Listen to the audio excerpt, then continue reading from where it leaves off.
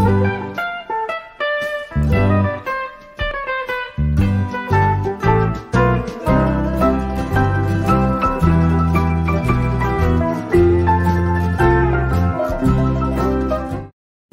सभी को, मैं मत्तू केवट। मैं आज आपको इस वीडियो के माध्यम से कक्षा चौथी विषय भाषा में देखिए। पाठ क्रमांक दो है, नींद हमें तब आती है। इस पाठ के स्वाध्याय के प्रश्नों के उत्तर देखिए, इसमें। पाँच प्रश्न है। पहला प्रश्न है, देखिए, हमें नींद कब आती है? दूसरा है, लोरी सुनकर हम किसमें खो जाते हैं? तीसरा है, माँ हमको छाती से कब चिपकाती है? चौथा है, हमको कौन और किस पर सैर कराती है? और पांचवा प्रश्न है, माँ गोदी के पलने का क्या बनाती है? तो इस वीडियो के माध्यम से हम इन छह प्रश्नों के उत्तर हम देखेंगे, देखिए। पहला प्रश्न है इसके अंतर्गत देखिए। पहला प्रश्न है, नींद, हमें नींद कब आती है?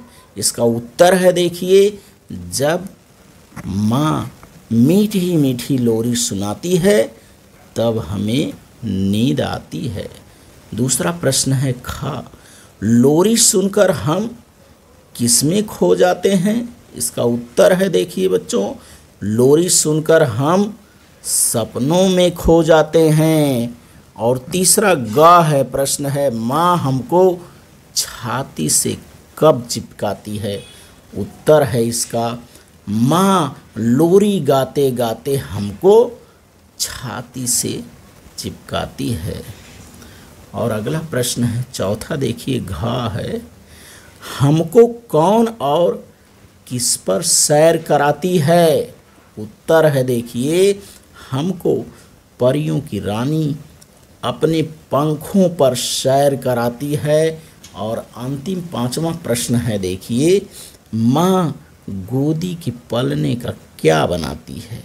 प्रश्न है, माँ गोदी के पलने का क्या बनाती है?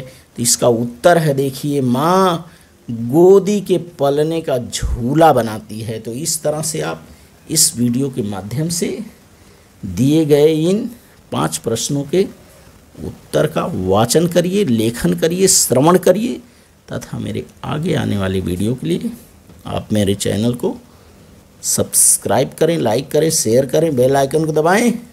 धन्यवाद सभी को।